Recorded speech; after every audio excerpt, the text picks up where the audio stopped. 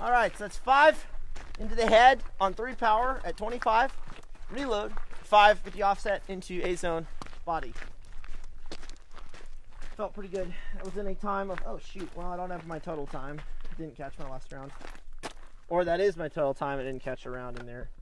But, got my headshots. And I've got one, two, three, four, five. Crap. One Charlie.